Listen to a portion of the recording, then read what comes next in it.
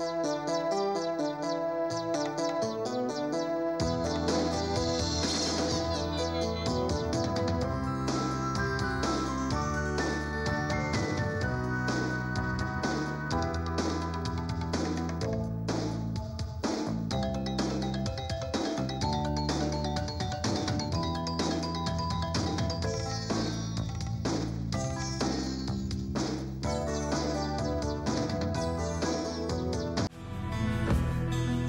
ยานยนต์ขนส่งขนาดใหญ่ไทยขวัญใจสิงห์รถบรรทุก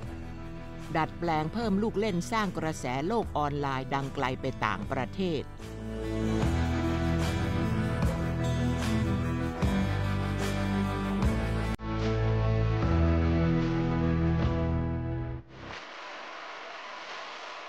ผมเป็นคนที่ชอบรถบรรทุกตั้งแต่ตอนเด็กเลย มันเป็นความชอบที่เกิดขึ้นมาจากจิตใจ เวลาเราเห็นปุ๊บเนี่ยขนาดตัวเขาสัดส่วน ไม่ว่าจะเป็นเรื่องเครื่องยนต์ ระบบช่วงล่าง ผมชอบทุกแบบเลยครับ ไม่ว่าจะเป็นของแบบไทยปากีสถาน แบบญี่ปุ่น หรือว่าจะเป็นแบบของยุโรปต้องย้อนกลับไปก่อนว่าเมื่อตอนนั้นเนี่ยครับทั้งเพจแล้วก็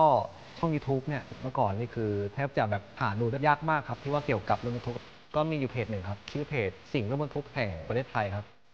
เขาเป็นเพจดังมากตอนนั้น ซึ่งผมก็ได้รับเป็นแรงบันดาลใจมาจากเขานั่นแหละครับ จนมาทำเพจแล้วก็ช่องในปัจจุบันนะครับ ส่วนใหญ่ถ้าเป็นแนวผมเนี่ย ผมจะเน้นไปทางเรื่องสเปคพวกเครื่องเกียร์ช่วงล่าง แล้วก็ลักษณะรถที่พิเศษกับงานนั้นๆ หรือว่าเป็นสเปคหายาก ผมว่ามันน่าค้นหาดี เพราะว่าด้วยสเกลรถที่มันใหญ่อะบางคนว่าเวลาแต่งเนี่ยอารมณ์เหมือนหุ่นยนต์ออปติมัสประมาณนั้น ก่อนที่จะถ่ายครับผมก็ต้องคุยกับเจ้าของรถก่อนว่าคันเนี้ยมีที่มาที่ไปยังไง ผมจะใช้มือถือเครื่องหนึ่งถ่าย แล้วก็ตัดแล้วก็ลงในตัวเลย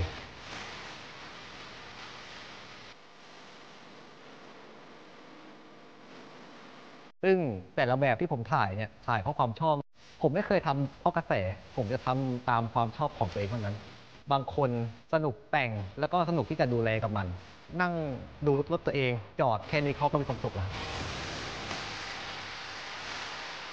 หรือว่ากรณีที่แบบว่าไปงานมิทติ้งอะไรมาเนี้ยเป็นงานแข่งรถ ซึ่งอันนี้ก็ตามชื่อเลยครับ ก็คือเน้นเรื่องความแรงการโมดิฟายกับเครื่องยนต์ งานบุญ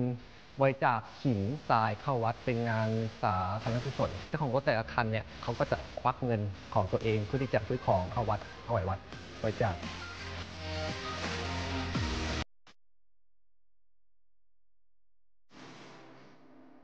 การรวมตัวของกลุ่มคนรักรถสิบล้อกับรูปลักษณ์สะดุดตา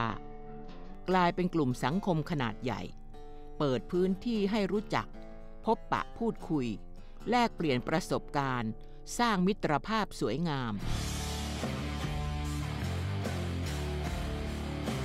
เขาติดต่อมาด้วย แล้วก็อยู่ในกลุ่มด้วยครับ ทั้งสองอย่างก็เลยไปเข้าร่วม ไปดูรถที่อื่นด้วย เขาจัดที่สนามฟุตบอลรถก็เต็ม หัวกะไม่ไม่ถูกแต่รถเยอะมากครับ แต่ละคนแต่งก็จะไม่เหมือนกัน ก็แล้วแต่ความชอบส่วนบุคคล ก็เริ่มแต่งจากรถพ่อครับเห็นพ่อแต่งแต่ก่อนก็ไม่ได้มีอะไรมากครับ ก็มีทำสีมีล้อกระทะชุบ มีถังน้ำมันนิดๆหน่อยๆครับ แต่ตอนหลังมามันก็ทันสมัยมากขึ้น ก็เห็นจากโซเชียลด้วยหลายๆอย่างเขาก็เลยเริ่มแต่งทีละนิดละหน่อย ก็มี 10 ล้อด้วย 6 ล้อด้วย 12 ล้อด้วย ทุกคันใช้งานหมดครับ แต่งทุกคันครับ อาจจะมีแต่งมากบ้างน้อยบ้าง แล้วแต่คัน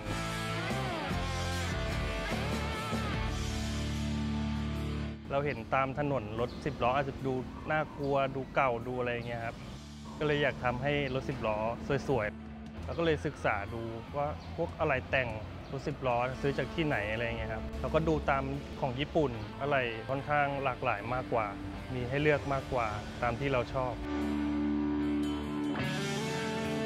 เราก็จะเลือกเองว่าเราอยากได้สีนี้แต่งแบบนี้ตรงนี้ใส่อะไร ตรงนั้นใส่อะไร เราก็จะบอกกับทางอู่ครับ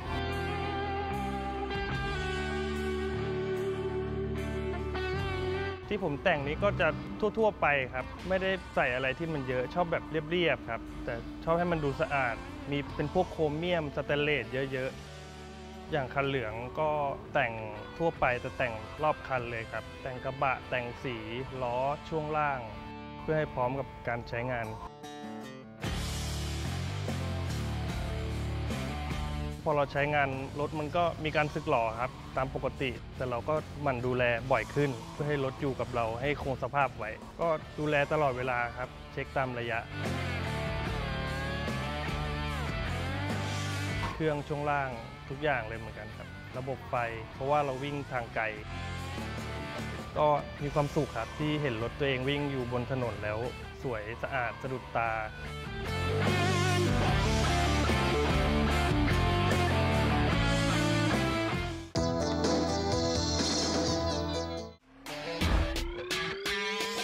เอกลักษณ์การตกแต่งที่ปรากฏไม่เพียงทำขึ้นเพื่อความพึงพอใจเจ้าของเท่านั้น ยังเสมือนเครื่องชี้วัดความสามารถช่าง ที่จะรังสรรค์งานศิลป์ให้ลงตัวไปด้วยกัน การแต่งรถใหญ่กับรถเล็กเนี่ยมันคนละฟิลกันในรถเล็กเนี่ยเขาก็จะแต่งพวกรถเครื่องแรง พวกโหลดเตี้ยอะไรพวกนี้นะแต่ว่ารถบรรทุกเนี่ยเขาแต่งแล้ว เขาต้องใช้งานได้ด้วย เพราะว่าเขาต้องเป็นเป็นเครื่องมือทำมาหากินเขาส่วนมากสมัยก่อนนะเขาจะคิดกระบะไม้ แต่ยุคสมัยมันเปลี่ยนไปไงกระบะไม้น้ำหนักมันเยอะ สมัยนี้รถบรรทุกมันต้องน้ำหนักรถต้องเบา แล้วก็บรรทุกของได้เยอะ มันก็เลยต้องประยุกต์ขึ้นมาเป็นพวกพื้นสแตนเลสพวกแผ่นข้างมิเนียมอะไรพวกนี้ครับแล้วก็ต้องออกแบบให้ลูกค้าเป็นลายใหม่ๆเรื่อยๆ สิบล้อของไทยกับสิบล้อต่างประเทศมันแต่งคนละสไตล์กันของยุโรปเขาจะเน้นแบบเรียบๆทำสีอะไรก็นิดๆหน่อยๆเราจะเป็นเน้นพวกไฟแต่ของบ้านเราเน้นลวดลาย มันจะมีลายพวกลายกันนกซึ่งต่างประเทศเขาทำไม่ได้ ต้องเป็นเฉพาะทางเขาพวกตีลายเนี่ยตอนนี้มันก็เริ่มแบบหาช่างที่ทำยากแล้วครับคืองานประเภทพวกงานใช้ฝีมือต่างประเทศเขาก็มาดูเขาว่าให้การยอมรับนะครับ อู่ผมก็ทำหมดทุกประเภท มันตั้งแต่ 4 ล้อเล็กยัน 12 ล้อ ก็คือรถเนี่ยมีหัวคัสซีเปล่ามา แล้วก็จะขึ้นกระบะให้แล้วก็ตกแต่งให้พร้อมวิ่งใช้งานคันนั้นมันก็เป็น 6 ล้อทั่วไปเนี่ยครับ เริ่มแรกเลยครับ แต่งห้องเครื่องก่อน แล้วก็แต่งพวกความแรงนิดหน่อย แล้วเราก็ตกแต่งอะไรที่เราเห็นเงาๆเนี่ยดูแล้วเหมือนกันแต่จริงๆแล้วไม่เหมือนกันราคามันคนละแบบเลยนะ เน้นแท้ว่าของญี่ปุ่นของนำเข้า ราคามันก็จะแพงกว่าหัวรถอะก็จะเป็นของแท้ญี่ปุ่นหมด ก็จะมีแค่ช่วงกระบะเนี่ยมันก็จะเป็นงานของเรา การที่ทำรถมันต้องรักในอาชีพนี้ด้วย อะไรมันก็แพงนะใจเขารักอะเขาไงเขาก็แต่ง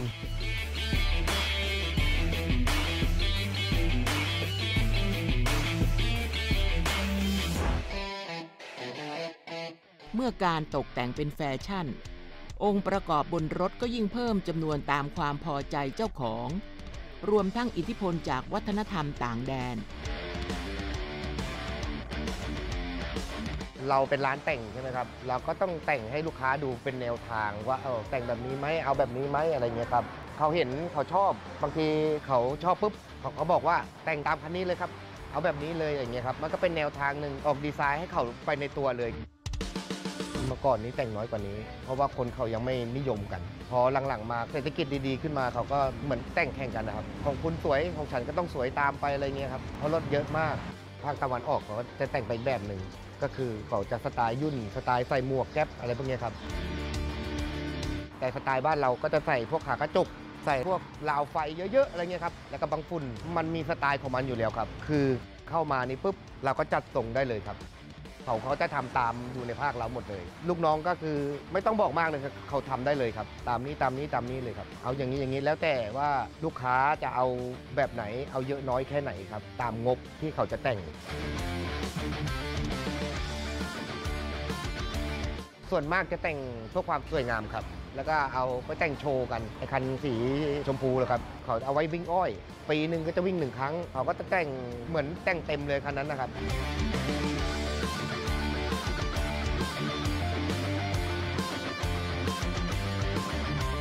เราไม่ได้ทำความเร็วครับ ที่นี่คือแต่งสวยงามว่าใช้งานจริง เวลามีงานพิทติ้งอะไรเงี้ยก็เราก็ไปงานกับเขาความสุขของคนขับ คนขับเขาก็จะมีกำลังใจขับว่ารถเขาสวยอะไรเงี้ยครับ แล้วเขาก็จะต้องดูแลรักษาอะไหล่ที่แต่งไป